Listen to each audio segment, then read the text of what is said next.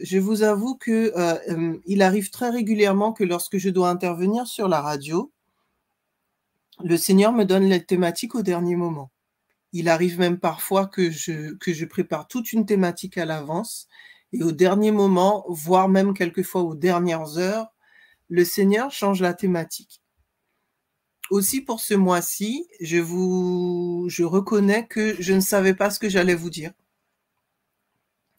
jusqu'à euh, ce matin. Ce matin, vers, enfin, cette nuit, vers minuit, une heure du matin. J'ai plusieurs sujets en tête. Le Seigneur m'a déjà, euh, je pense, inspiré des, thématiques pour, euh, pour la radio.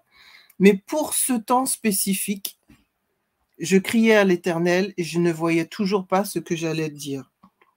Et le Seigneur m'a conduit dans un texte. Et ce texte se trouve dans 1 Jean 3, verset 16. Alors, je vais prendre 1 Jean 3, verset 16.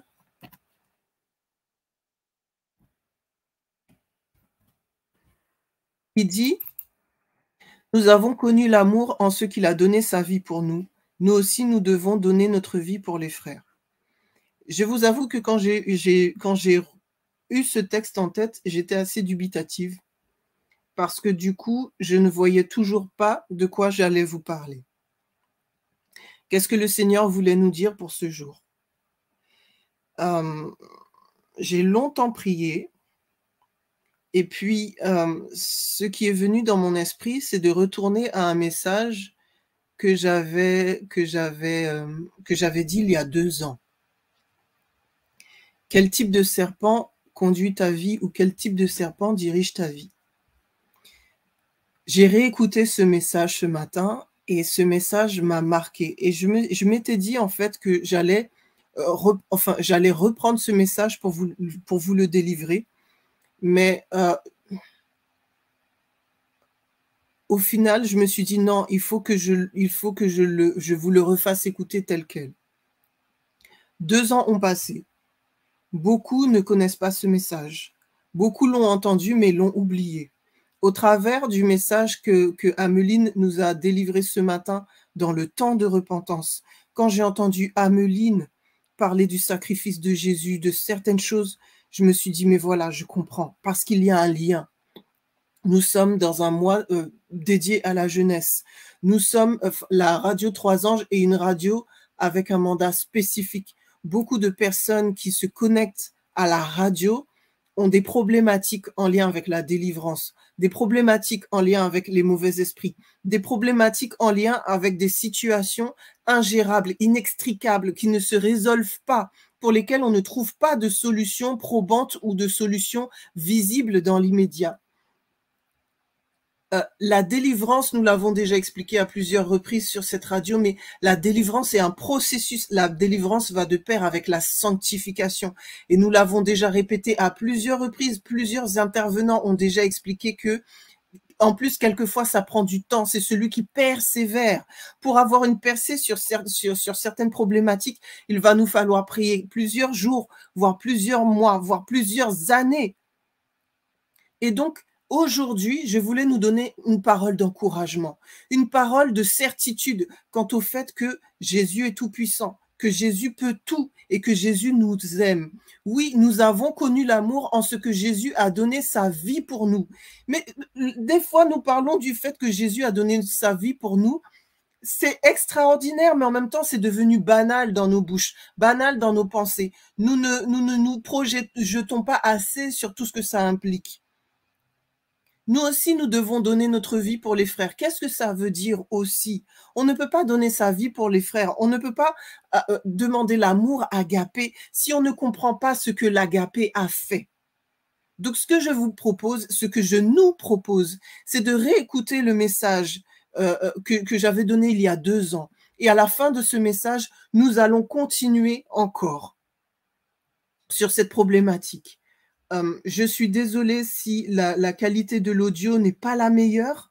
En deux ans, il s'est passé beaucoup de choses, mais par la grâce de Dieu, nous allons entendre, nous allons comprendre le message. N'hésitez pas à participer dans le chat si vous voulez, que ce soit pour des commentaires ou des remarques ou des gloires à Dieu. Et à la fin de ce message, nous allons, nous allons continuer sur la thématique.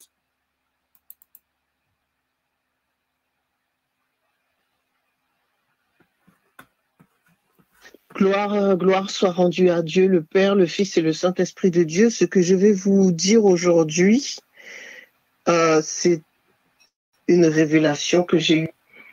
Hum, elle, elle est incomplète, elle est partielle, parce que je suis limitée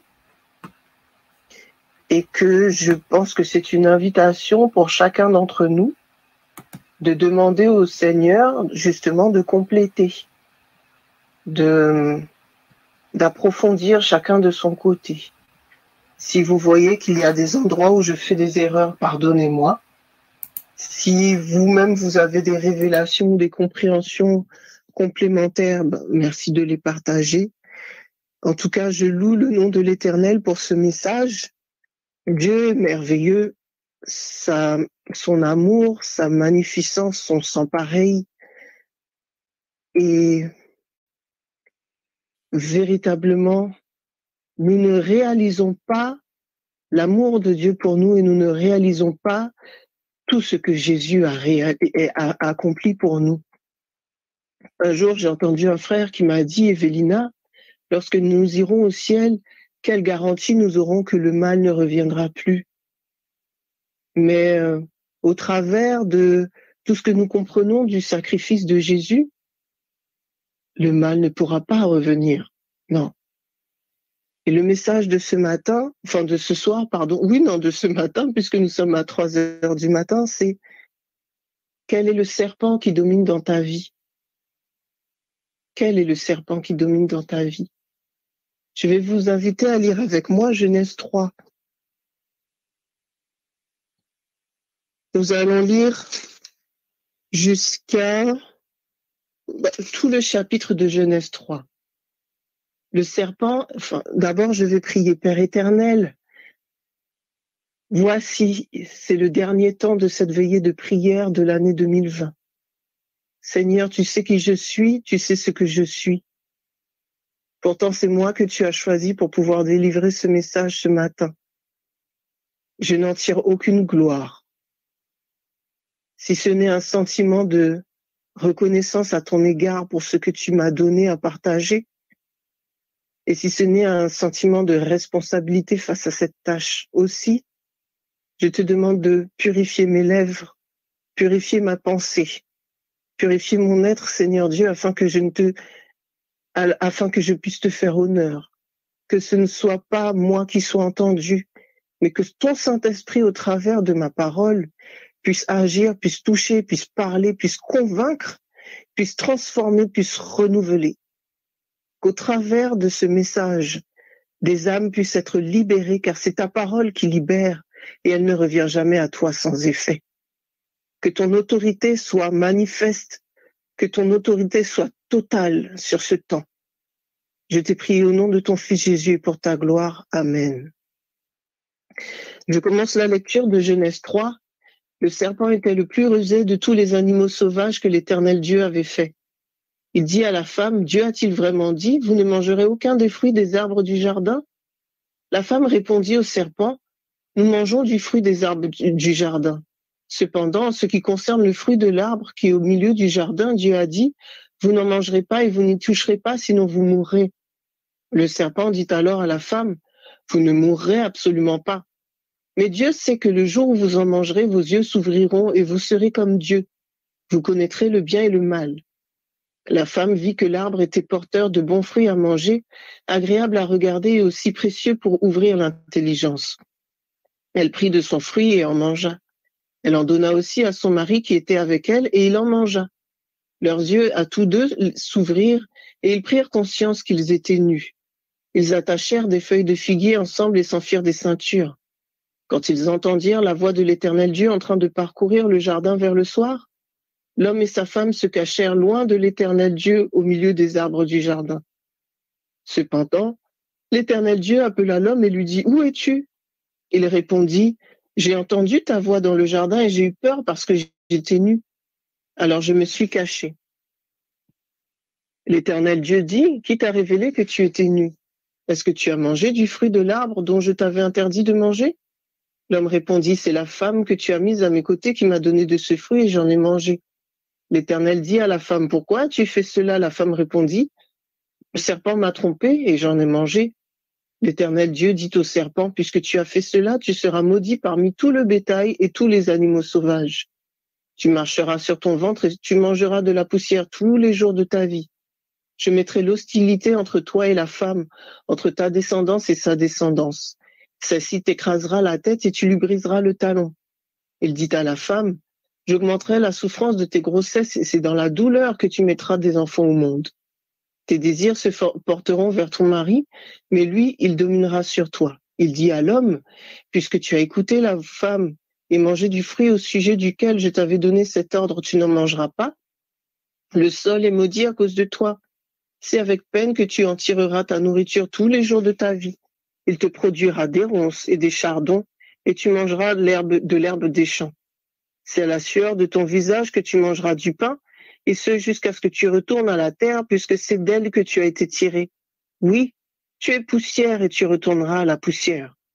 Adam appela sa femme Ève, car elle devait être la mère de tous les vivants. L'Éternel Dieu fit des habits en peau pour Adam et pour sa femme, et il leur mit. L'Éternel Dieu dit, Voilà que maintenant est devenu, voilà que l'homme, pardon, est devenu comme l'un de nous pour la connaissance du bien et du mal.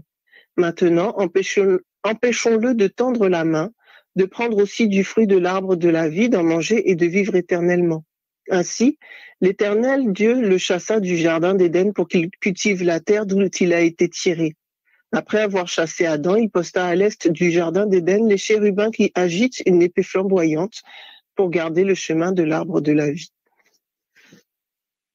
Donc nous voyons dans ce passage que le serpent est l'incarnation de Satan, l'adversaire.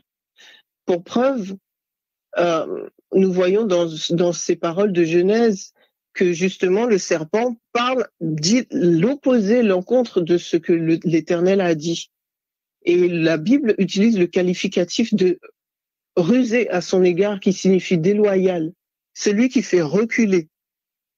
Dans Apocalypse 12, verset 9, il nous est dit que il fut jeté, jeté dehors le grand dragon, le serpent ancien appelé le diable et Satan, celui qui égare toute la terre. Il fut jeté sur la terre et ses anges furent jetés avec lui. Donc on voit clairement que le serpent est Satan. Et d'ailleurs, dans la Bible, le terme de serpent a presque toujours une connotation négative. Et quand je dis presque toujours, eh bien, nous allons le voir dans Exode 4, versets 1 à 4. Nous allons prendre souvent la Bible aujourd'hui parce que, encore une fois, comme je l'ai dit, et comme le dit la parole, c'est la, c'est la parole de Dieu qui libère, c'est la parole de Dieu qui est puissante. Et face à l'ennemi, nous devons comprendre et nous devons connaître la parole de Dieu. Exode 4, versets 1 à 4 nous dit, Moïse était face au buisson ardent et le Seigneur a envoyé, euh, a donné à Moïse l'ordre de retourner en Égypte pour pouvoir délivrer le peuple d'Israël. Et Moïse répondit, ils ne me croiront pas, ils ne m'écouteront pas, au contraire, ils diront, l'Éternel ne t'est pas apparu. L'Éternel lui dit, qu'y a-t-il dans ta main? Il répondit, un bâton. L'Éternel dit, jette-le par terre. Il le jeta par terre et le bâton se changea en serpent. Moïse prit la fuite devant lui.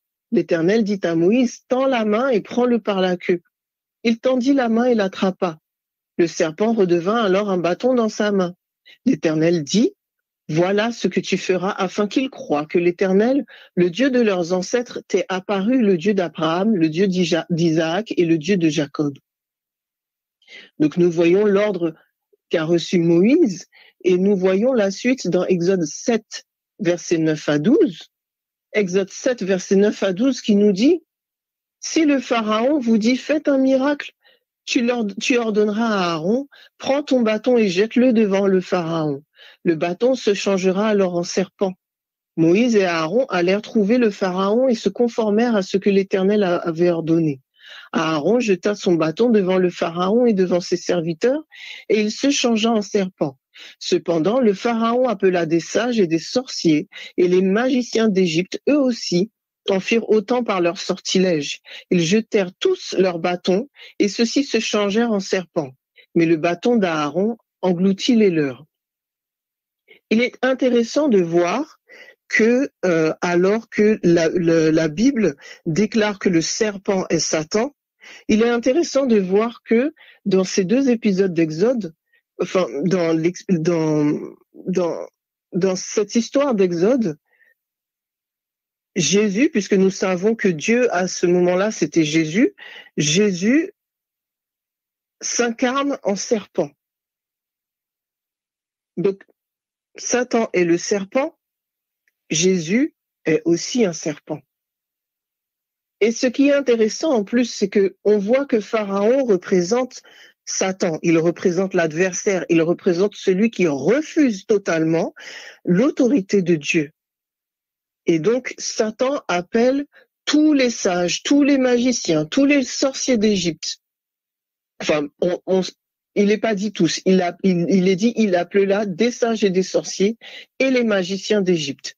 Donc on imagine en fait qu'il y avait beaucoup de personnes. Et toutes ces personnes, ils en firent, ils firent la même chose que Moïse, à savoir que leur bâton se transformait en serpent. Je ne sais pas si vous réalisez le nombre de serpents qu'il y avait, parce que le problème, c'est que souvent, euh, nous, nous, nous nous attachons aux choses que nous voyons. Et nous avons dû voir les dix commandements en film ou euh, la version de Moïse en dessin animé, et donc nous avons dans notre tête, il y avait peut-être que deux, trois, quatre serpents. Mais la vérité, c'est que nous ne savons pas combien de serpents étaient en présence à ce moment-là. Nous ne savons pas. Et ce qui est intéressant, c'est que le bâton d'Aaron engloutit tous les serpents. Alors, je ne sais pas pour vous, mais dans le monde naturel, lorsque l'on regarde les, reportages, si un serpent mange un autre serpent ou une autre proie ou une souris ou quelque chose comme ça, il prend des heures, voire des jours pour digérer ce qu'il a mangé. Déjà, il prend, il prend un moment avant de arriver à engloutir sa proie. Parce que logiquement, pour engloutir ta proie, il faut que tu l'aies tué d'abord. Ou sinon, il faut que tu lui aies donné inculqué du venin pour que euh, ta proie ne bouge plus et que tu puisses et que le serpent puisse l'avaler. Or, il n'est pas question de tout ça ici. On nous dit que le bâton d'Aaron engloutit les leurs. Point. Et là, déjà, nous voyons la suprématie de Jésus. Généralement, lorsque l'on parle de Jésus en tant que serpent, on pense au serpent d'airain. Et donc, je vais vous inviter à lire avec moi cet épisode. Il est dans Nombre 21, versets 3 à 9. L'Éternel exauça Israël et lui livra les, Cananéens. On les voit à la destruction, ainsi que leur ville, et on appela cet endroit Orma. Ils partirent du mont Or par le chemin de la mer des roseaux, nombre 21, verset 3 à 9, hein, je reprends. Donc, ils partirent du mont Or par le chemin de la mer des roseaux pour contourner le pays des dons. Le peuple s'impatienta en route et parla contre Dieu et contre Moïse. Pourquoi nous avez-vous fait quitter l'Égypte si c'est pour que nous mourions dans le désert? En effet, il n'y a ni pain, ni eau, et nous sommes dégoûtés de cette misérable nourriture. Alors l'Éternel envoya, des serpents venimeux contre le peuple. Ils mordirent le peuple et beaucoup d'Israélites moururent. Le peuple vint trouver Moïse et dit, Nous avons péché car nous avons parlé contre l'Éternel et contre toi. Prie l'Éternel afin qu'il éloigne ces serpents de nous. Moïse pria pour le peuple et l'Éternel lui dit, Fais-toi un serpent venimeux et place-le sur une perche. Toute personne mordue qui le regardera aura la vie sauve. Moïse fit un serpent en bronze et le plaça sur une perche. Toute personne qui avait été mordue par un serpent et regardait le serpent en bronze avait la vie sauve. Depuis que je suis enfant, en fait, quand j'étais enfant, c'était euh, un, un épisode qui me troublait beaucoup. On en parlait à l'église, on disait voilà, Moïse a fait un serpent d'airain, les gens le regardaient et, les gens étaient sauvés. Et je n'arrivais pas à comprendre en tant qu'enfant pourquoi le serpent d'airain représentait Jésus alors qu'on m'avait toujours dit que le serpent c'était Satan. Et personne ne, enfin, personne ne semblait trouver ça illogique ou anormal. On en parlait comme ça et on disait voilà, euh, Jésus, c'est Jésus, c'est le serpent. Mais pour moi, serpent égale péché. Et c'est intéressant parce que euh, là, il est question de serpent d'airain, mais dans d'autres versions, on dit le le, le serpent euh, ardent, le serpent brûlant ou le serpent ardent. Et donc, ce n'est que très tard, euh, il y a quelques années, que véritablement j'ai compris que euh, j'ai compris pourquoi Jésus euh, s'est incarné en tant que serpent. Si nous prenons Jean 3, versets 12 à 16, Jean 3, versets 12 à 16 dit, là c'est Jésus qui parle à Nicodème qui est venu le voir de nuit. Nicodème faisait partie du Sanhédrin Nicodème se rendait compte que Jésus était différent des autres. Il réalisait qu'il se passait quelque chose, mais il n'arrivait pas encore à l'accepter en tant que Messie et il voulait le voir. Donc il est allé le voir en privé. Et donc en Jean 3, versets 12 à 16, Jésus parle à Nicodème et lui dit, si vous ne croyez pas quand je vous parle des réalités terrestres, comment croirez-vous si je vous parle des réalités célestes? Personne n'est monté au ciel sinon celui qui est descendu du ciel, le Fils de l'homme qui est dans le ciel. Et tout comme Moïse a élevé le serpent dans le ciel, il faut aussi que le Fils de l'homme soit élevé afin que quiconque croit en lui ne périsse pas, mais qu'il ait la vie éternelle. En effet, Dieu a tant aimé le monde qu'il a donné son Fils unique afin que quiconque croit en lui ne périsse pas, mais ait la vie éternelle. Et donc, ce passage m'interpelle particulièrement le verset 12 qui est dit, si vous ne croyez pas quand je vous parle des réalités terrestres, comment croirez-vous si je vous parle des réalités célestes? Et donc, j'y vois la corrélation entre ce qui se passe dans le monde et ce qui se passe dans le, dans, le monde spirituel. Et donc, là, en fait, il nous est dit que il véritablement un lien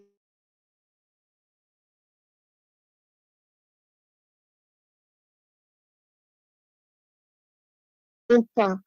Ok, il n'a pas tous les péchés de l'humanité, mais est-ce qu'il est devenu vraiment péché? Mais il faut croire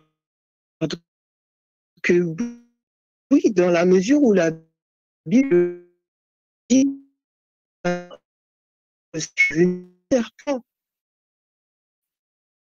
donc, 2 Corinthiens 5, verset 21.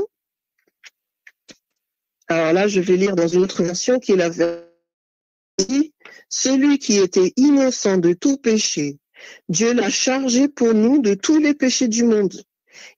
Il est devenu comme une incarnation du péché, pour que dans sa communion, nous puissions être agréés, étant revêtus de la justice de Dieu. Il nous est dit aussi dans Galates 3, verset 13, donc Galates 3, verset 13,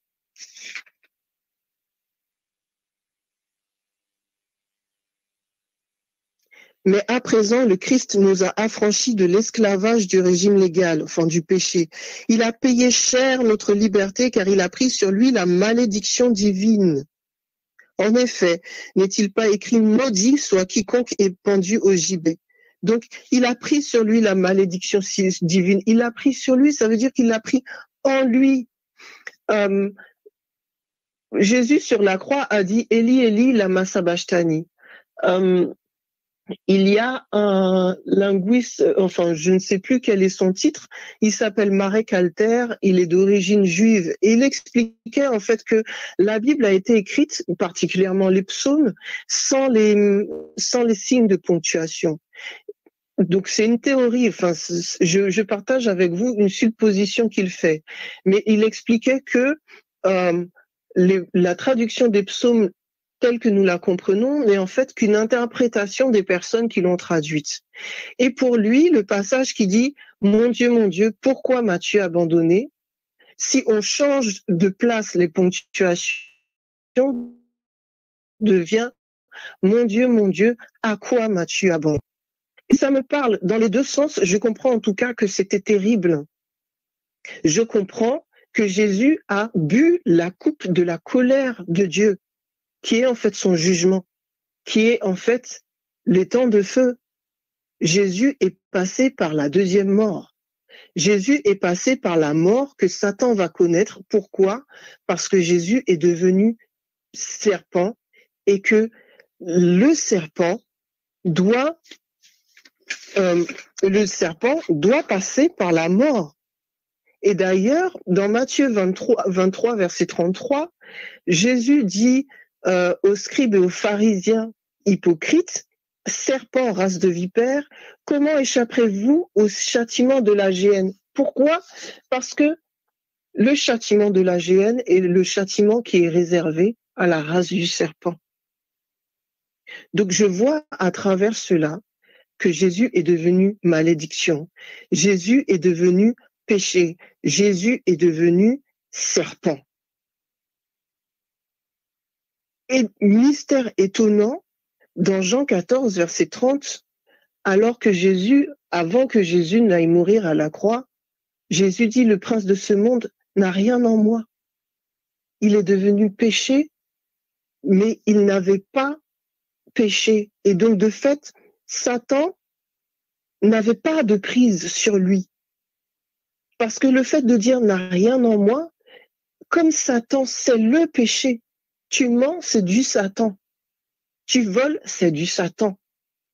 Tu te mets en colère injustement, c'est du être colérique, c'est du Satan.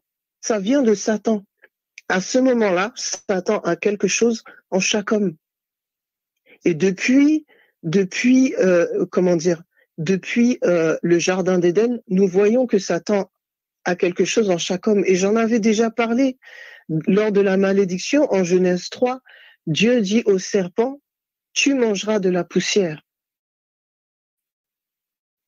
Et plus tard, il dit à Adam, tu es poussière et, tu retourneras à la poussière. Donc, Satan, le serpent, mange la poussière, ça veut dire Satan mange l'homme. Donc, à partir de ce moment-là, depuis ce moment-là, Satan a toujours eu quelque chose en l'homme. Il a toujours eu de son venin, parce que pour manger l'homme, de toute façon, il faut qu'il le morde. Et ce venin, ce poison, c'est le péché. On ne peut pas faire de différence, on ne peut pas faire de séparation entre Satan et le péché. Et donc, voilà, nous voyons que Jésus est devenu serpent. Mais pourquoi Jésus est devenu serpent? Et ce que j'ai compris en fait aujourd'hui, c'est que nous parlons du combat du mal contre le bien. Et ce n'est pas le combat du bien contre le mal. Ce n'est pas le bien qui combat le mal, c'est le mal qui cherche à détruire le bien. Et il faut que nous réalisions cela parce que sinon, nous mettons le mal et le bien au même niveau. Or, ce n'est pas vrai. Le bien aura toujours une suprématie sur le mal. Et c'est la raison pour laquelle Jésus a pu devenir péché sans être pécheur. Jésus a pu devenir serpent sans être Satan. Et c'est une bonne nouvelle, les amis, pour que le combat soit équitable, pour que Satan ne puisse rien dire, pour que Satan ne puisse pas dire que oui, non, mais c'est pas loyal, etc. et tout. Jésus a pris la nature de Satan pour combattre son ennemi. Je ne sais pas si vous êtes en train de réaliser ce que je suis en train de dire. Je trouve ça hallucinant. C'est, énorme, c'est énorme. Par là même, il montre la suprématie de l'amour agapé sur toute situation, sur tout mal, sur toute chose. L'amour agapé est tout puissant. Rien dans la pureté de Dieu ne peut l'atteindre. La pureté de Dieu est basée sur son caractère, son caractère qui est agapé. Rien ne peut altérer l'amour agapé, pas même le péché. Rien. L'amour agapé sera toujours victorieux. L'amour agapé sera toujours tout puissant. Dieu est tout puissant. Pourquoi? Parce que son amour est tout puissant. Dieu tout puissant veut dire Dieu dont l'amour est tout puissant. L'amour, en devenant serpent, a montré aux hommes, aux anges, à l'univers entier que l'amour est toujours vainqueur. L'amour sera toujours vainqueur. Et c'est la raison pour laquelle nous n'avons pas à craindre la présence de Satan. Nous n'avons pas à craindre la présence des esprits mauvais.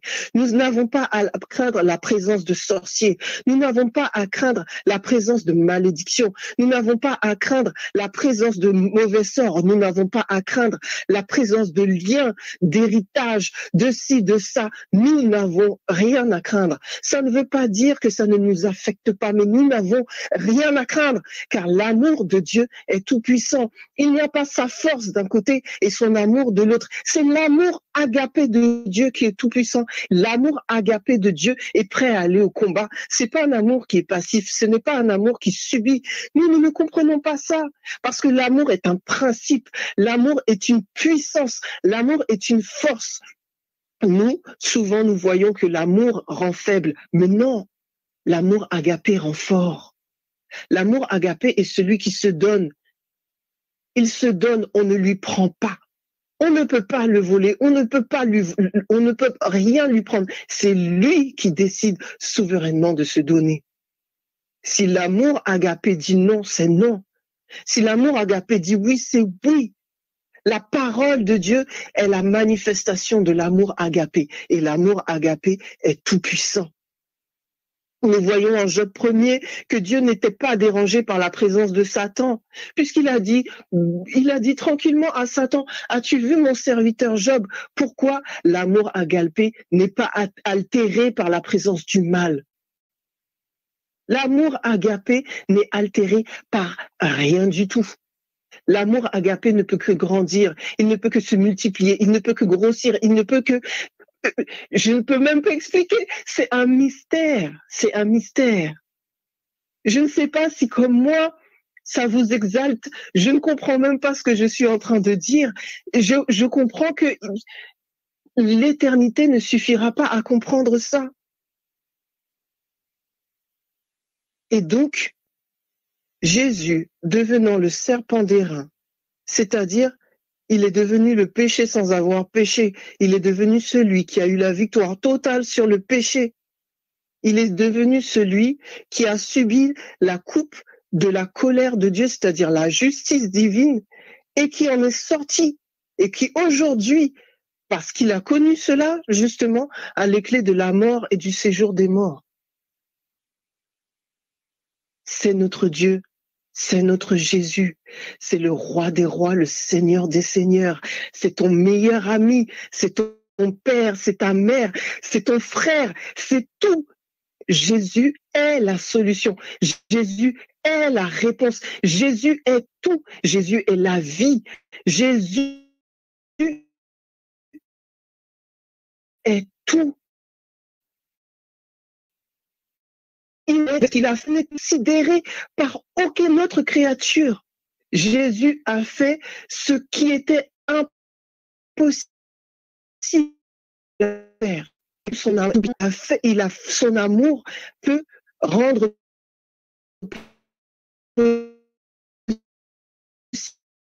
possible ce qui est totalement impossible. Toute cette partie-là est forte. Mais comprenez quelque chose. C'est que se manifeste parce que Jésus est devenu serpent. Pour sauver l'homme, Dieu est venu est devenu homme. Il est le second Adam. Pour vaincre Satan, Dieu est devenu serpent. Est-ce que nous réalisons ce que je suis en train de dire? Pour sauver l'homme, Dieu est devenu homme. Pour vaincre le serpent, Satan et euh, Jésus est devenu serpent. Au travers de cela, il a dépouillé l'ennemi, dépouillé. Je vous invite à prendre avec moi enfin, Colossiens 2, versets 13 à 15.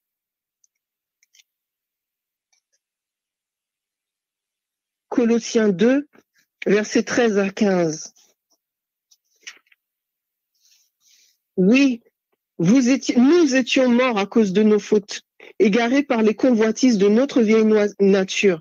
Mais en nous unissant au Christ, Dieu nous a fait revivre avec lui en nous pardonnant tous les péchés par sa grâce. Il a effacé l'acte aux mille articles qui nous accusaient, car il mentionnait tous les manquements à la loi de Dieu. Il l'a annulé et il l'a cloué à la croix. Je veux le redire. Il a effacé l'acte aux mille articles qui nous accusaient, car il mentionnait tous les manquements à la loi de Dieu. Il l'a annulé et l'a cloué à la croix. Il a démasqué et puis désarmé toute autorité, tout pouvoir de l'enfer. Il, il, a exposé leur faiblesse devant l'univers. Il les a traînés derrière son char triomphal après sa victoire à la croix. Ça aussi, il faut que je le relise. Il a démasqué et puis désarmé toute autorité, tout pouvoir de l'enfer. Il a exposé leur faiblesse devant l'univers. Il les a traînés derrière son char triomphal après sa victoire à la croix. N'est-ce pas merveilleux? J'ai lu dans la version parole vivante. N'est-ce pas merveilleux, les amis? Mais c'est magnifique. Et pourquoi il a dépouillé Dans d'autres versions, il est dit pourquoi il a dépouillé? Pourquoi il a dépouillé Il aurait pu juste désarmer? Pourquoi il a dépouillé? Pour venger la nudité de l'homme et de la femme en Éden, mes amis. Quand Dieu dit à moi la vengeance, à moi la rétribution, coup pour coup, chaque chose que l'humanité a vécue, chaque défaite, chaque attaque, chaque chose, Jésus rendra coup pour coup. Jésus a rendu, Jésus rend et Jésus rendra coup pour coup. Frères, sœurs, si quelqu'un te fait du mal, ne te venge pas au nom de Jésus. Laisse-le s'en charger pour toi. Demande la guérison, demande la restauration. Mais ne cherche pas à te venger parce que si tu cherches à faire justice, tu n'es plus sous la justice de Christ. Tu prendras toi aussi coup pour coup. Car l'amour agapé est juste, l'amour agapé est puissance, l'amour agapé rend les coups, mes amis. Et ça, c'est une bonne nouvelle. Parce que si quelqu'un, en tant que mère, si quelqu'un attaque mes enfants, je rendrai coup pour coup avec grâce, bien entendu, mais si je vois que la personne ne veut pas bouger, je ferai en sorte de mettre à l'abri mes enfants. Je ferai en sorte de les venger, pas pour faire du tort à la personne qui leur a fait du mal, mais pour faire justice. Et là, mes amis, comprenez, Jésus rend coup pour coup il a dépouillé l'ennemi parce que l'ennemi a dépouillé Adam et Ève qui se sont retrouvés tout nus, ils ont perdu la gloire, ils ont dû se cacher avec des feuilles de figuier. Coup pour coup, Jésus dépouille. Amen. Je ne sais pas pour vous, mais Amen. Alléluia. Amen, Amen, Amen, Amen. Genèse 50, verset 20 dit, vous avez médité de me faire du mal. Dieu l'a changé en, en bien pour accomplir ce qui arrive aujourd'hui, pour sauver la vie à un peuple nombreux. Genèse 50, verset 20. C'est Joseph, une figure du Christ, qui a dit ça à ses frères qui avaient cherché, qui l'ont vendu, qui l'ont dépouillé, qui, l'ont fait passer pour mort, qui lui en voulaient. Et il dit, vous aviez médité de me faire du mal. Dieu l'a changé en bien pour accomplir ce qui arrive aujourd'hui, pour sauver la vie à un peuple nombreux. C'est exactement ce qui s'est passé. Satan avait médité de nous faire du mal, mais Dieu l'a changé en, en bien pour accomplir ce qui arrive aujourd'hui, ce qui est arrivé à la croix, ce qui va arriver à son retour pour sauver la vie à un peuple nombreux. Le peuple, comprenons, mes amis, comprenons. Le plan de la rédemption est une réécriture totale de l'histoire, non seulement de l'humanité, mais de l'univers entier. Je reprends cette phrase. Le plan de la rédemption est une réécriture totale de l'histoire, non seulement de l'humanité, mais de l'univers entier. Quelques exemples. Quand je dis coup pour coup, le serpent a été précipité sur terre avec ses anges qui ont été jetés. Jésus s'est incarné du ciel pour descendre sur la terre. serpent précipité, Jésus descend du ciel sur la terre. Pourquoi il est devenu serpent? Mais il est aussi Dieu, il est, le Tout-Puissant. Donc là où le serpent était précipité sur terre, lui ne remonte pas. Jésus remonte il remonte. Et non seulement il remonte, avec lui, il entraîne ses enfants.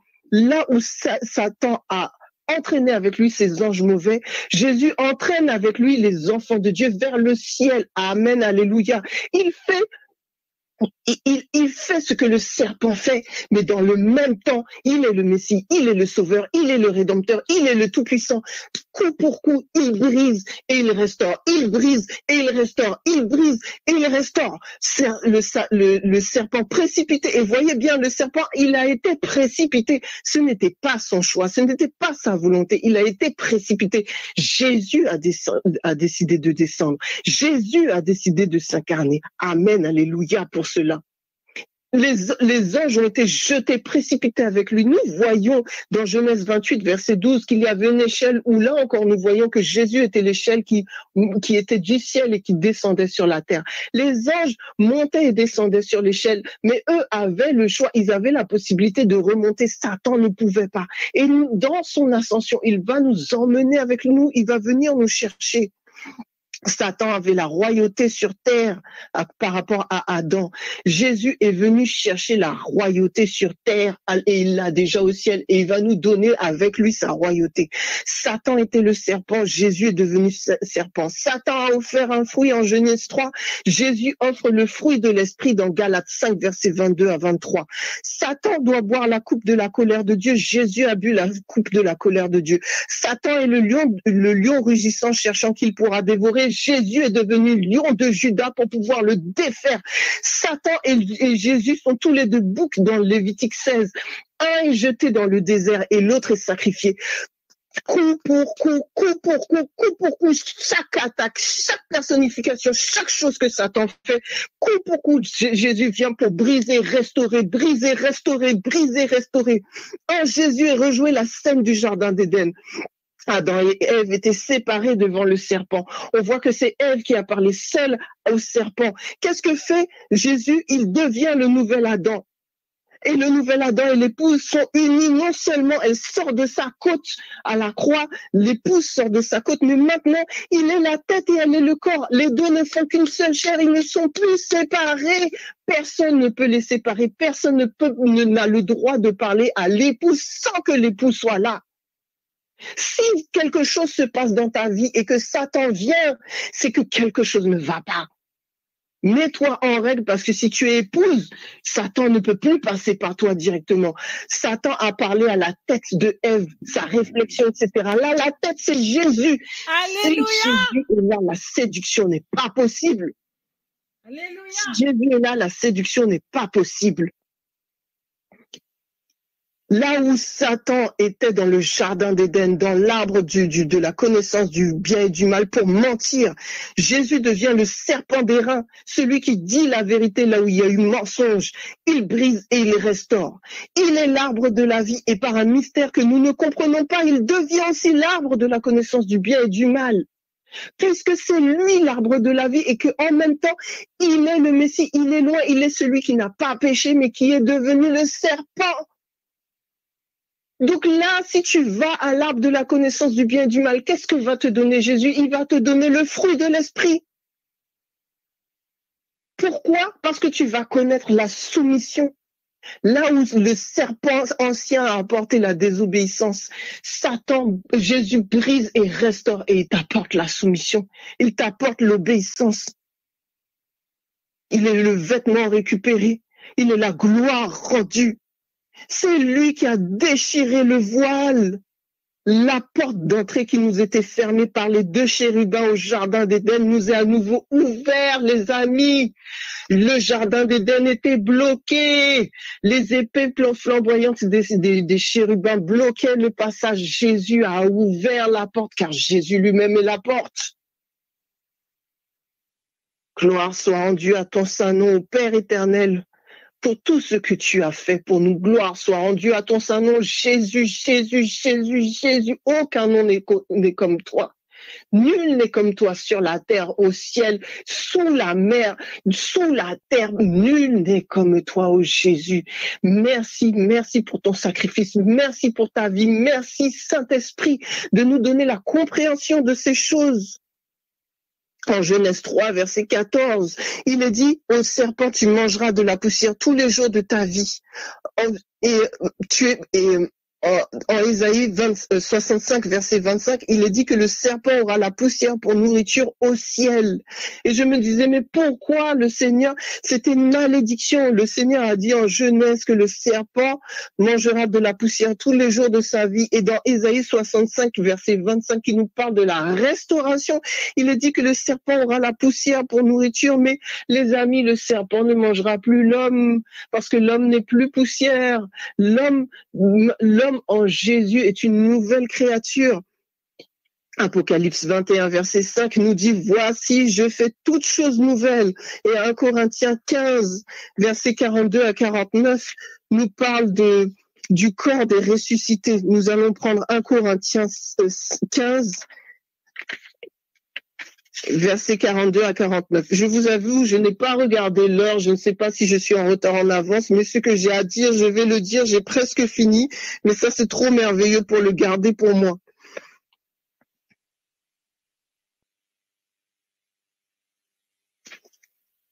Donc nous avons dit 1 Corinthiens 15, versets 42 à 49.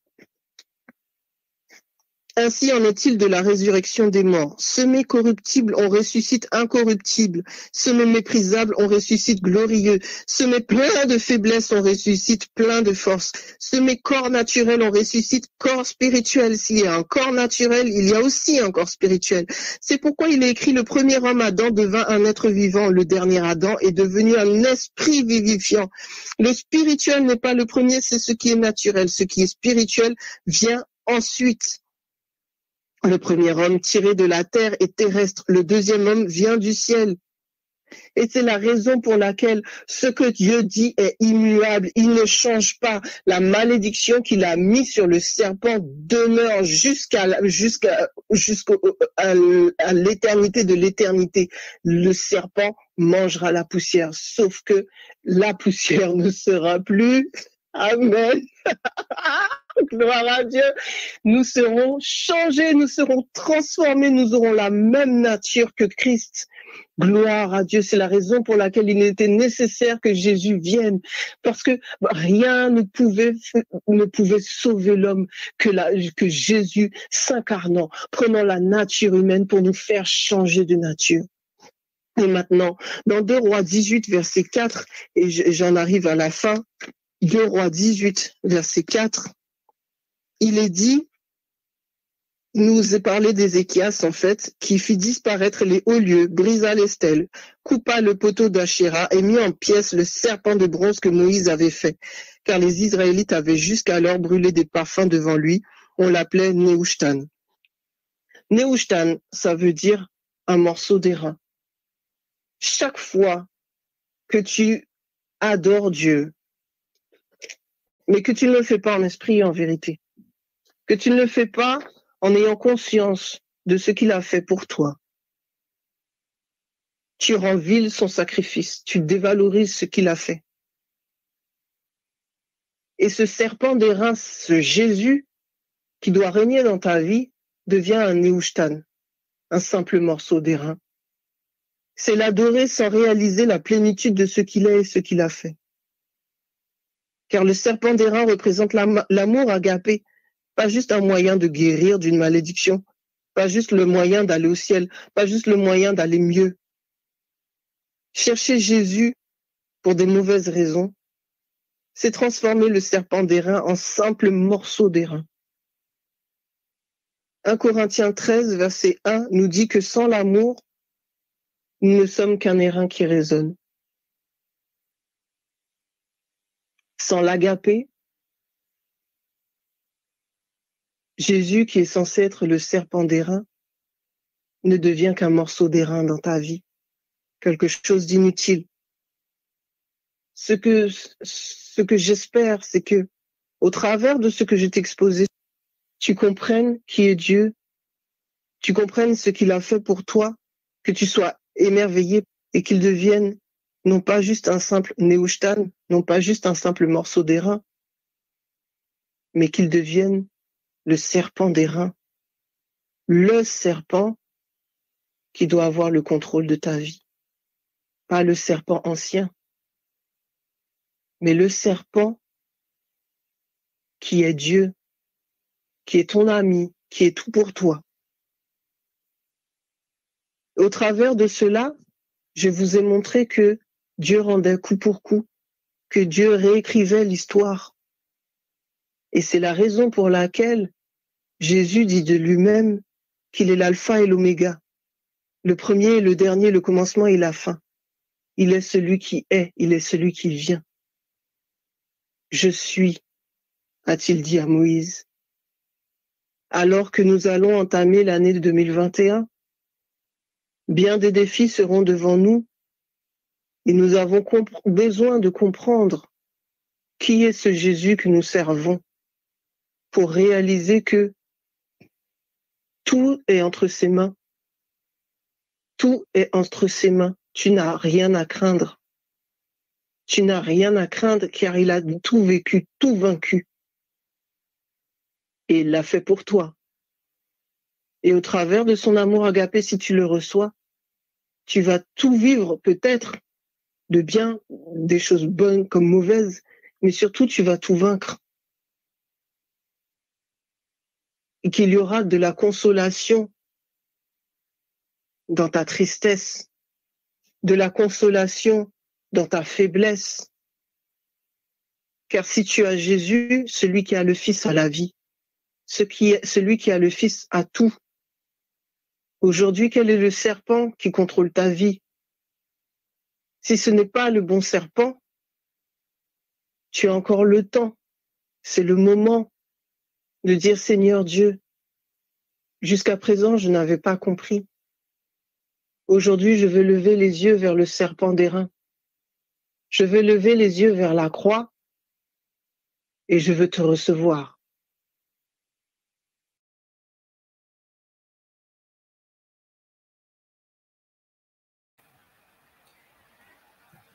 J'ai délibérément coupé la fin, puisque la fin, c'était le temps de prière du moment de l'époque. J'espère que euh, l'écoute ou la réécoute de ce message vous a fait du bien. Comme moi, ça me fait du bien de réentendre ce message. Il était une période où, euh, de temps en temps, je retournais à ce message. Il est vital pour nous de comprendre qui nous servons. Il est vital pour nous de comprendre qui est Jésus. Il est vital pour nous de comprendre qui est l'amour agapé avant de continuer, à l'époque, lorsque j'ai fait ce message, l'on m'a dit que euh, le passage sur, euh, sur euh, le, serpent dans Ésaïe n'était pas clair. Donc, je veux reprendre ce, ce passage-là et après, on va continuer. Ésaïe 65, verset 25, nous dit que le loup et l'agneau auront un même pâturage, le lion comme le bœuf mangera de la paille, et le serpent aura la poussière pour nourriture. Il ne se fera ni tort, ni dommage sur toute ma montagne sainte, dit l'Éternel. Je veux donner un message d'espérance à quelqu'un. S'il y a encore quelqu'un, comme ce frère qui m'avait dit, mais quelle garantie nous avons qu'il n'y aura plus de mal? Il n'y aura plus de mal parce que, comme je l'ai expliqué plus tôt, le serpent mange la poussière et Adam est poussière. Ça veut dire que le serpent mange Adam là, le Seigneur était en train d'expliquer le processus de la démonisation. Ce n'est pas quelque chose que nous avons inventé, c'est quelque chose qui sort de la Bible et c'est quelque chose qui sort de la bouche de Dieu lui-même. Le serpent mange la poussière et Adam est poussière et retournera à la poussière. Donc le serpent mange Adam et Adam représente l'humanité. Le serpent mange Adam et pour manger Adam, il mord Adam et en mordant Adam, il inculque son venin qui est le péché. Dans Ésaïe 65, il nous est dit que quand Jésus va revenir nous chercher, le serpent mangera toujours de la poussière. Cependant, il nous est dit dans le passage de 1 Corinthiens, que je vais reprendre dans une autre version, 1 Corinthiens 15, nous avons besoin, on ne peut pas rentrer dans la délivrance sans avoir des fondamentaux dans la Bible lorsque nous vous parlons de chasser les esprits mauvais, lorsque nous vous parlons de délivrance, nous allons chercher le fondement dans la parole de Dieu. Encore une fois, c'est la parole de Dieu, l'autorité. C'est la parole de Dieu qui transforme. Jésus a affronté Satan en lui disant, il est écrit, tu as besoin de savoir ce qui est écrit dans la parole. J'ai besoin de savoir ce qui est écrit dans la parole. 1 Corinthiens 15 nous dit, au verset 48, version parole de vie, ceux qui viennent de la terre sont comme celui que Dieu a modelé avec de la terre. Ceux qui viennent du ciel sont comme celui qui est venu du ciel. Alors, on va reprendre par rapport au verset 45, pardon. Dans les livres saints, on lit Adam, le premier homme, c'est un simple être humain qui a reçu la vie. Le dernier Adam est rempli de l'Esprit Saint qui donne la vie. Ce qui vient d'abord, ce n'est pas l'être qui vient par l'Esprit, c'est le simple être humain. L'être qui vit par l'Esprit Saint vient après. Dieu a modelé le premier homme avec de la terre. Cet homme-là vient de la terre, mais le deuxième homme vient du ciel. Le premier Adam avait été modelé avec de la terre. Terre qui veut dire poussière. Poussière qui est l'alimentation du serpent. Mais le verset 47 nous dit, le deuxième homme vient du ciel. Le second Adam Jésus vient du ciel. Et c'est la raison pour laquelle, dans les versets qui précèdent, on nous dit que nous allons changer de corps. Nous aurons un corps incorruptible. Ce corps incorruptible ne sera plus lié à la terre. Et c'est la raison pour laquelle, même s'il est dit en Ésaïe 65 que le serpent continuera de manger de la poussière, l'être humain ne sera plus poussière. Il ne sera plus terre.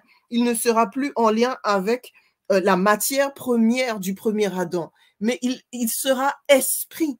Et en ce sens-là, plus rien ne pourra lui faire du tort, plus rien ne pourra lui faire du mal, car il sera pleinement euh, dans son corps glorifié qui sera associé au corps de Jésus-Christ. Nous avons besoin de conscientiser pleinement à quel point Jésus est la réponse à toute chose, à quel point Jésus a tout accompli. Beaucoup d'entre nous, nous venons à la radio. Beaucoup d'entre nous se connectent à Radio Trois Anges, comme je l'ai dit plus tôt, avec des problématiques pour lesquelles ils n'arrivent pas à trouver de solution, avec des problématiques dont ils ont même peur de parler. Chaque fois que l'on demande euh, un témoignage, c'est compliqué de témoigner. Pourquoi? Parce qu'on ne veut pas s'exposer, on a peur. Que vont penser les autres? Que vont dire les autres? Tout ça pourquoi? Parce que nous n'avons pas compris certaines choses. Et nous avons besoin justement de comprendre à quel point Jésus est tout-puissant. Cette toute-puissance de l'agapé, il veut le manifester dans notre vie. Au travers de l'autorité qu'il nous donne. Lui qui a eu toute autorité sur le serpent, sur l'humanité, sur le péché, nous dit, voici, je vous donne tout pouvoir je vous donne le pouvoir de marcher sur les scorpions, sur les serpents et sur toute la puissance de l'ennemi et rien ne pourra vous nuire. Pourquoi? Parce que je l'ai fait. Pourquoi? Parce que je vis en vous par mon esprit. Pourquoi? Parce que je vous rends de la même nature que moi. Beaucoup d'entre nous encore ont peur. Dès qu'on l'on parle d'esprit mauvais, dès que l'on voit des manifestations, dès qu'on entend des bruits ou quoi que ce soit, la peur et la honte. Mais Jésus est venu pour ôter la peur et la honte. Il est venu pour remplacer la peur par la sécurité. Pourquoi? Il est agapé et la Bible dit l'amour parfait bannit la crainte. Tu as peur des esprits mauvais. Tu as peur de l'avenir. Tu as peur dans ton couple. Tu as peur dans telle situation. Tu as peur pour ton enfant. Tu as peur, tu as peur, tu as peur. Appelle l'agapé. Quand tu pries, proclame, je reçois l'agapé, je reçois ton amour, je me, je me remplis de cet amour, je proclame qu'il vit en moi, je proclame que je le reçois, je proclame. Pourquoi ta bouche a de la puissance, ta parole a de la puissance. Tu as été créé à l'image de Dieu. Tu as besoin d'apprendre à proclamer. Pourquoi il y a eu le serpent d'airain, mes amis? Pourquoi?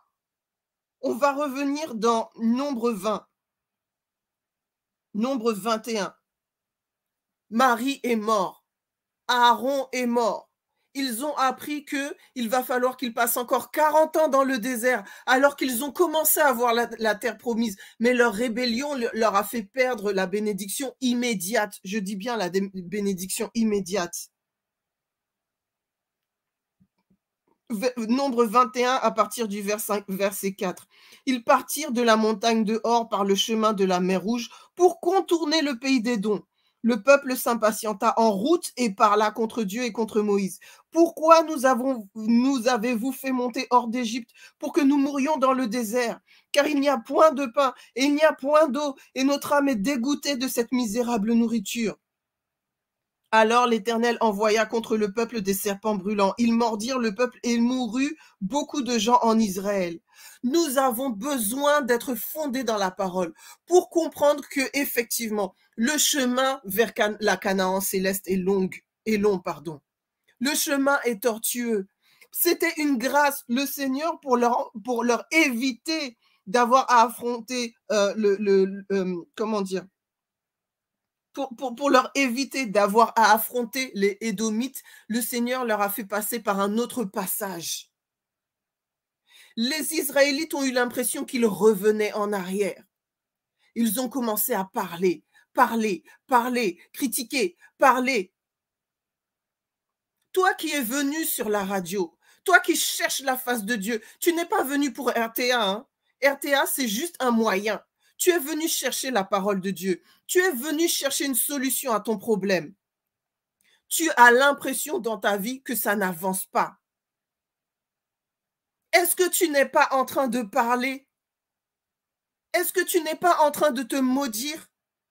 Est-ce que tu n'es pas en train d'envoyer des serpents ardents chez toi? Des serpents brûlants chez toi?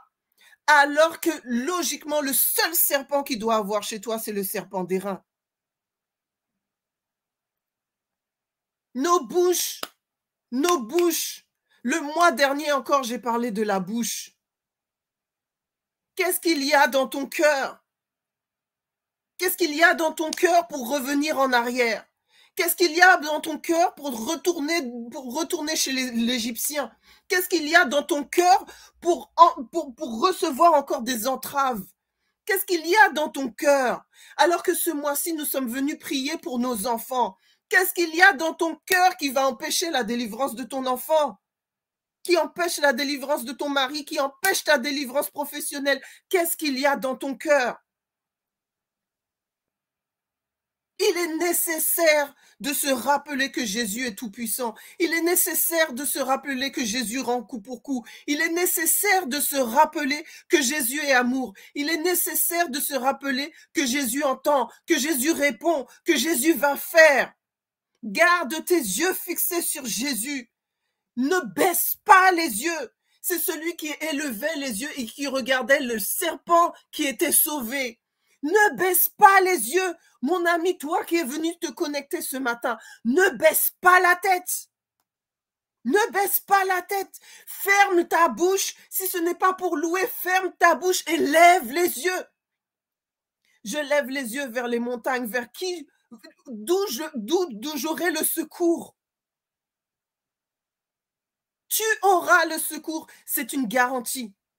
Tu auras le secours, c'est une certitude. Tu auras le secours, c'est une assurance. Et le message que tu as entendu précédemment, c'était pour te rappeler cette assurance, pour te rappeler cette certitude, pour te rappeler cette garantie. Cette garantie est scellée dans le sang de Jésus. Lorsque tu dis le nom de Jésus, es-tu convaincu dans ton âme? Es-tu convaincu dans ton cœur que au nom de Jésus, tout genou fléchit? Ce n'est pas parce que tu ne, tu ne vois pas que les êtres humains fléchissent le genou, que le corps spirituel ne fléchit pas.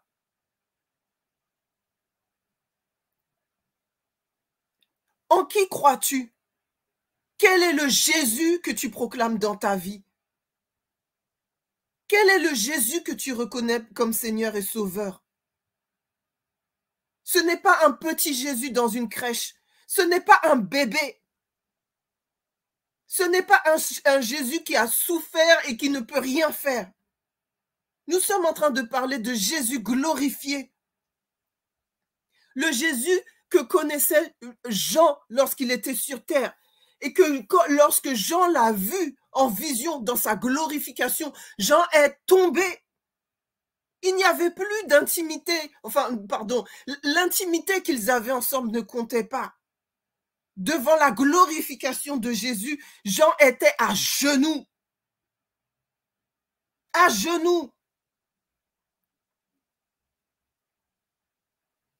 Parce que tout genou fléchit au nom de Jésus. Quel est le problème dans ta vie qui n'a pas encore fléchi? Mais que tu contemples trop au lieu de lever les yeux. Quelle est la situation dans ta vie qui t'a fait croire que Jésus n'est plus élevé? Quelle est la situation dans ta vie qui, a, commencé à te faire regarder en bas au lieu de regarder en haut? Lorsque l'on regarde, lorsque l'on regarde en bas, lorsque l'on regarde à ses pieds, on n'a aucune perspective. On ne voit pas assez loin. On ne voit pas devant nous.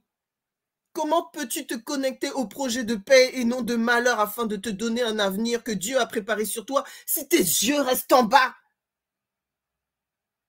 Peuple de Dieu, réveille-toi ce matin. Réveille-toi ce matin. Je ne suis pas venu pour accuser. Je ne suis pas venu pour condamner. Mais que ma voix résonne quelque part pour créer un écho, pour créer un réveil et que tu te lèves. La Bible dit, lève-toi, toi qui dors, relève-toi d'entre les morts. S'il y a la mort chez toi au nom de Jésus, je proclame qu'elle fuit au son de ma parole, parce que je parle au nom de l'Éternel. Où est passée ton audace? Où est passée ta détermination? Réveille-toi, mon frère, ma soeur. Réveille-toi, mon enfant. Réveille-toi.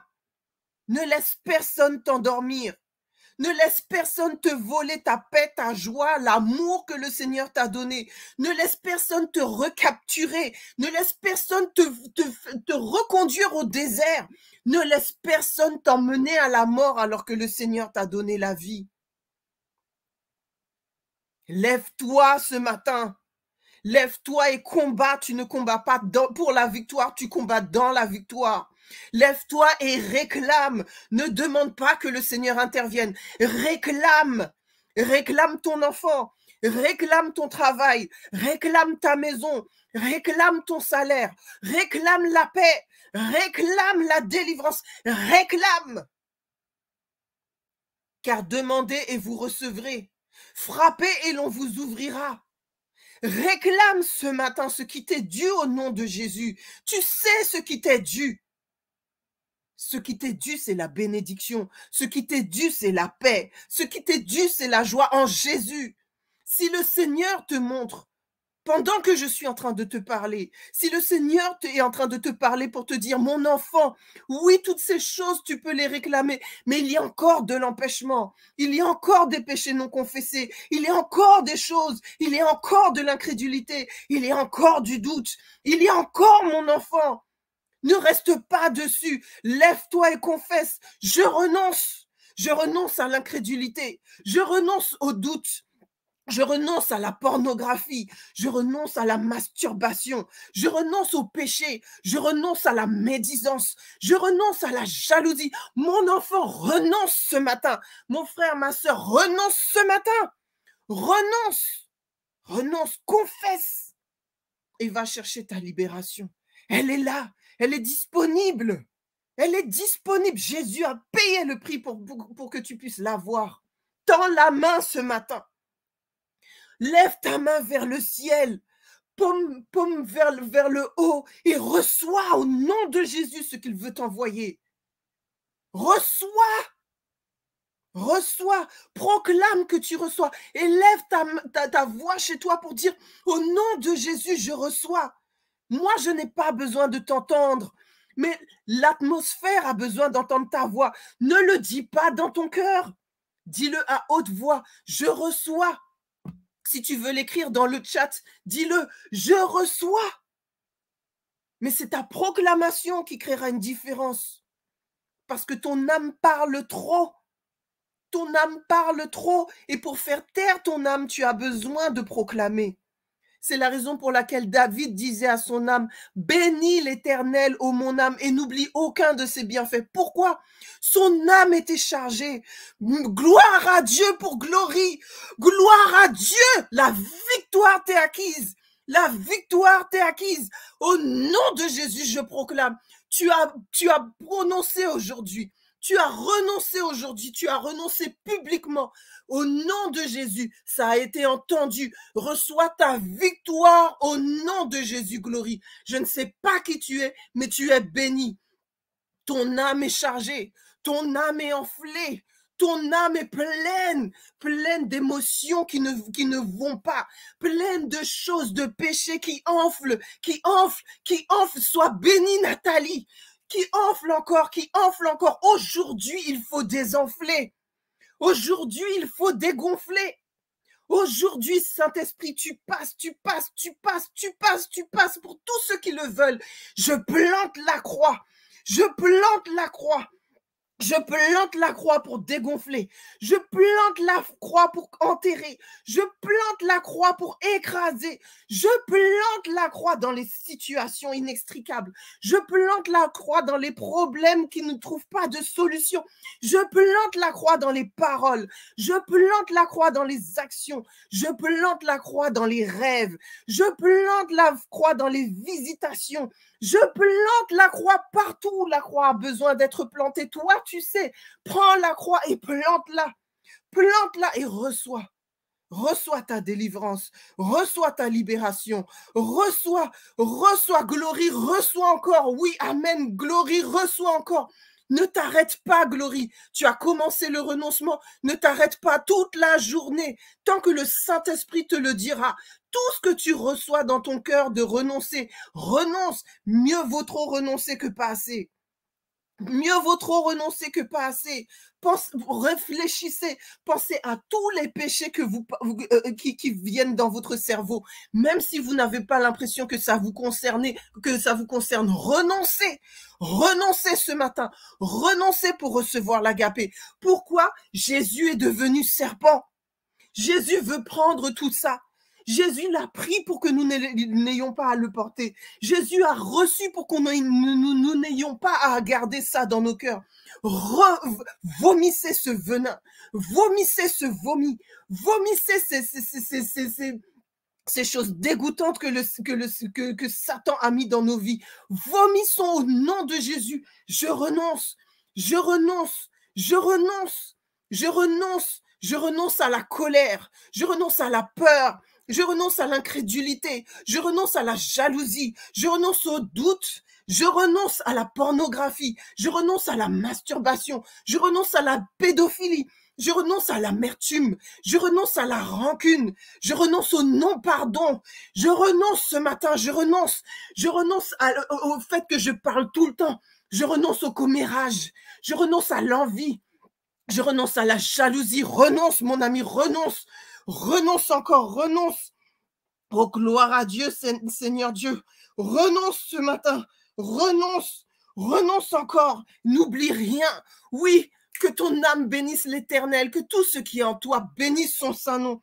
Oui, euh, oh, gloire à Dieu, Seigneur Dieu, je renonce à la sorcellerie, je renonce à la divination, je renonce à l'astrologie, je renonce au magnétisme, je renonce à l'acupuncture, je renonce à toute science qui n'est pas de Dieu, je renonce à toute science qui n'est pas biblique. Je renonce à toute éducation reçue qui ne venait pas de l'éternel. Je renonce, je renonce, je renonce, je renonce à toute religion qui ne confesse pas que Jésus est Seigneur et Sauveur. Je renonce à toute religion qui a, qui, qui, qui, je renonce à toute religion où il y a des saints, où il y a des dieux, où il y a des personnes, où il y a des idoles euh, euh, qu'il faut adorer, autre que le Père, le Fils et le Saint-Esprit de Dieu. Je renonce. Je renonce au vaudou. Je renonce à l'occultisme. Je renonce. Je renonce. Je renonce. Je renonce. Toi-même, tu sais à quoi tu dois renoncer. Je renonce. Je renonce à la critique. Je renonce à mal parler à mes enfants. Je renonce à mal parler à mes parents. Je renonce à la, à la non-considération. Je renonce au non-respect des gens qui m'entourent. Je renonce ce matin. Je renonce au vol. Je renonce. Je renonce à la convoitise. Renonce, renonce, renonce. Je renonce à la religiosité. Je renonce au formalisme. Je renonce au légalisme. Je renonce au jugement. Je renonce, je renonce, je renonce, je renonce, je renonce ce matin, je renonce encore, je renonce Saint-Esprit. Envoie un esprit de renonciation, envoie un esprit de repentance, envoie un esprit ce matin. Révèle à tes enfants ce qui est caché, révèle à tes enfants ce qu'ils ont subi. Je renonce au rejet, je renonce au sentiment d'humiliation, je renonce à l'injustice, je renonce à l'abandon, je renonce, je renonce aux blessures, je renonce au misérabilisme, je renonce à la culpabilité, je renonce à cette, à cette victimisation qui fait que je me complais. Je me complais dans ma situation. Oh, mais je n'y arriverai pas. Oh, mais c'est trop dur pour moi. Oh, mais comprends. Oh, mais toujours trouver des excuses au lieu de renoncer au péché. Je renonce aux excuses. Ce matin, je renonce. Je renonce je renonce, je renonce, je renonce. Et alors que tu renonces, tu reçois l'agapé, l'agapé qui apporte la joie, l'agapé qui apporte la paix, l'agapé qui apporte l'amour, la, l'agapé qui apporte l'assurance, l'agapé qui apporte la certification de ton adoption. Tu n'as rien à craindre, mon frère, ma soeur, mon enfant. Tu n'as rien à craindre pour ta vie. Tu n'as rien à craindre. Je renonce à la chair. Je renonce aux actions maléfiques. Je renonce, je renonce à la présomption. Je renonce à, mes suppositions. Je renonce à appeler la voix du Saint-Esprit ma propre voix. Je renonce à la séduction. Je renonce, je renonce, je renonce, je renonce et j'accueille l'esprit d'adoption. J'accueille l'esprit d'agapé. J'accueille l'esprit du Père. J'accueille l'esprit de Jésus-Christ. J'accueille le Saint-Esprit ce matin. J'accueille pour moi. J'accueille pour mon mari. J'accueille pour mes enfants. J'accueille dans mon travail. J'accueille dans RTA. J'accueille, j'accueille, j'accueille, j'accueille dans mon âme. J'accueille dans mon esprit. J'accueille dans mon corps.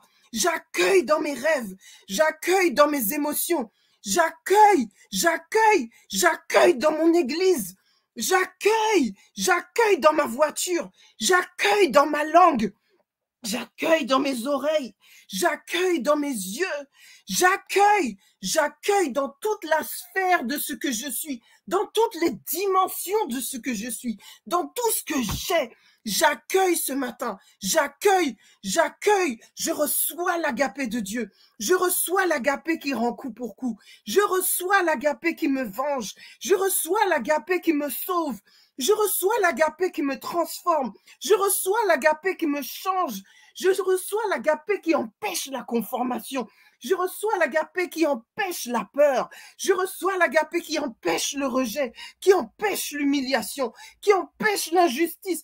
Je reçois l'agapé qui me rend en capacité de pardonner. Je reçois l'agapé qui me rend en capacité d'aimer. Je reçois l'agapé qui me rend en capacité d'accepter. Je reçois l'agapé qui me rend en capacité de vivre avec l'autre, même si l'autre n'est pas comme je veux, même si l'autre ne dit pas ce que je souhaiterais, même si l'autre n'agit pas comme je le voudrais. Je reçois l'agapé qui me met en capacité d'aimer. Je reçois l'agapé pour être transformé en petit agapé. Si Jésus est agapé, si Jésus est Christ et que je suis chrétien, Jésus est agapé et je proclame que je deviens agapé. Oui, tu renonces à la panique et tu reçois la paix, Lazo. Laurel reçoit, Patricia reçoit, Chaïdé reçoit, tous ceux qui ont écrit, recevez tous ceux qui ont élevé leur voix ce matin, recevez au nom de Jésus, recevez au nom de Jésus et croyez que vous avez reçu. Chassez la peur, chassez l'incrédulité, chassez le doute. Satan essaiera de vous faire croire que non, c'est l'émotivité. Mais non, ce qu'Evelina a dit, oui, c'est vrai, mais en même temps, mais non, mais il y a peut-être, non, au nom de Jésus. Positionne-toi pour rester dans la réconciliation. Positionne-toi pour rester dans l'assurance. Positionne-toi pour dire que Bénis l'Éternel, mon âme, et n'oublie aucun de ses bienfaits. Quand bien même le doute, quand bien même l'incrédulité, je proclame que je croirai et que je croirai encore. Oui, reçois ta délivrance ce matin. Reçois ta délivrance ce matin. Ce matin encore, tout à l'heure, nous allons prier avec Michael. Mais déjà, reçois. Reçois, parce que notre Père n'est pas chiche, notre Père n'est pas avare, notre Père n'est pas radin. Il veut nous bénir plusieurs fois dans la même journée. Il veut que nous allions de grâce en grâce, de gloire en gloire. Il veut que là où le mal abonde, la grâce surabonde. Reçois, tu ne recevras jamais trop. Tu ne recevras jamais assez. Reçois ce matin. Gloire soit rendue à ton Saint nom, Père éternel. Gloire soit rendue à ton saint nom, au Fils. Gloire soit rendue à ton saint nom, au Saint-Esprit. Oui, aujourd'hui, la radio a été combattue, mais c'est parce qu'aujourd'hui est une journée de victoire. Victoire pour ton peuple, victoire pour tes enfants, victoire pour ton nom, victoire pour ta gloire, victoire dans une famille, victoire dans un couple, victoire chez un enfant, victoire chez une personne, victoire dans une maladie, victoire dans un péché, victoire dans une addiction, victoire dans un travail, victoire dans une oppression, victoire dans un problème, victoire, victoire, victoire, victoire, victoire. Nous combattons dans la victoire, pas pour la victoire. Victoire au nom de Jésus. Victoire au nom de Jésus. Victoire au nom de Jésus. Victoire par l'anneau de Dieu qui a, qui a donné sa vie bien avant la fondation du monde. Victoire pour le lion de Judas. Victoire pour le baume de Galade. Victoire pour le lys de la vallée. Victoire au nom de Jésus. Au nom de Jésus. Au nom de Jésus. Victoire pour le peuple de Dieu. Amen. Restez bénis. Ne laissez personne vous voler votre joie, personne vous voler votre bénédiction. C'est la vôtre, elle vous appartient. Elle, a, coûté cher et c'est le plaisir du Père, du Fils et du, du Saint-Esprit que vous l'ayez. C'est le plaisir du Père, du Fils et du Saint-Esprit que vous viviez dedans.